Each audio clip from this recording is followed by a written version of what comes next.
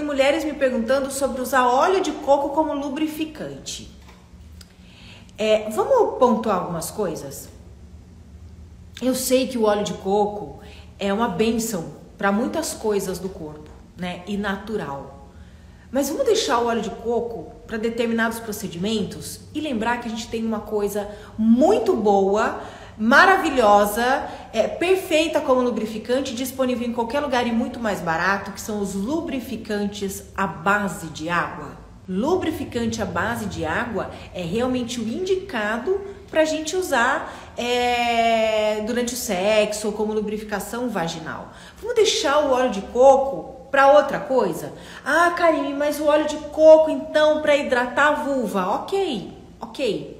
Mas como lubrificante para você ter uma relação sexual, uma penetração, é, a primeira coisa é que por mais que você pense, ah, o óleo de coco é natural e tudo mais, depende do óleo de coco.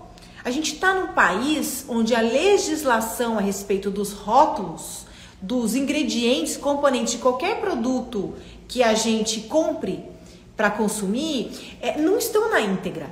A gente tem uma legislação muito branda, a gente compra as coisas no supermercado, em loja, e o que vem ali no rótulo não é tudo que o produto contém. Porque a lei não obriga os fabricantes a colocarem tudo. É por isso que ninguém sabe que tem dioxina e amianto dentro dos absorventes descartáveis.